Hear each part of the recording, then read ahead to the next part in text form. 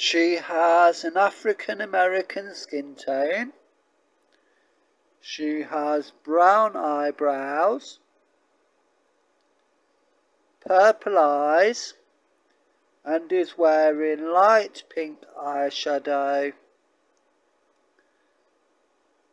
dark red lipstick, and is wearing light pink blush on her cheeks. She has long black hair, which is actually fairly soft. You can brush it and maintain it quite easily. And she is wearing this dress that I put on her. It, it has a pink trim at the top then it is silver in the middle and pink at the bottom with a giant bow on the sides. I think it really suits her. And she's wearing these gorgeous knee-high boots with flower designs on them.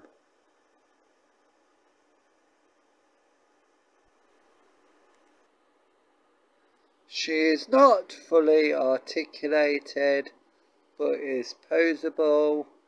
You can move her arms up and down, and you can put her in a sitting position.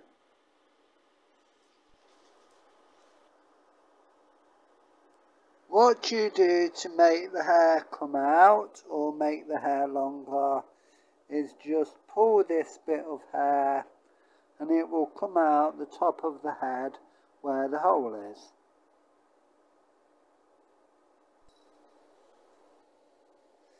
You have to be careful because you can pull the hair too hard like what I have just done and, that comes out or the hair will come out and it's damn near impossible to get it back in how it was.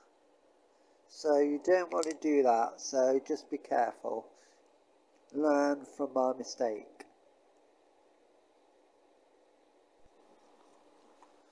Okay, so I'm not going to be able to show you what she does because the stupid hair will not go back in. Which is annoying, but I do want to get the 90s cut and style Barbie to see if that works better than this one.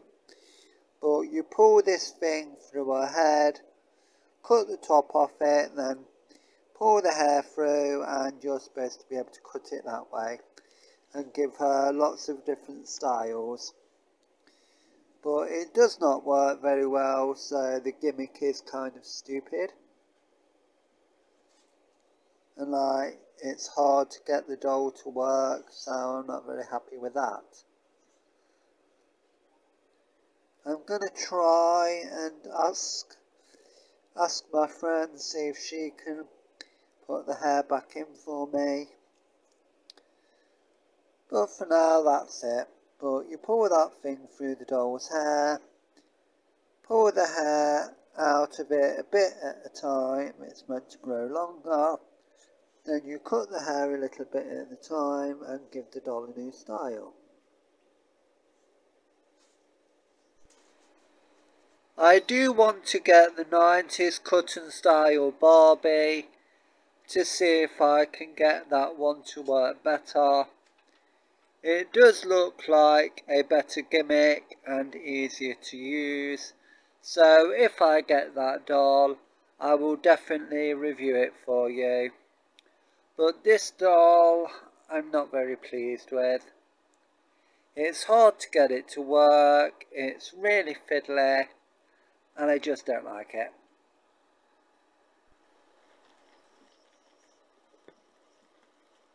I do like the doll, I think she's a really pretty doll.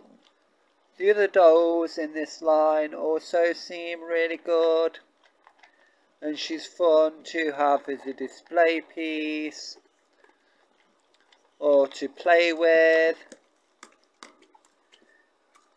And yes, I think she's good for adult collectors as well as little boys and little girls.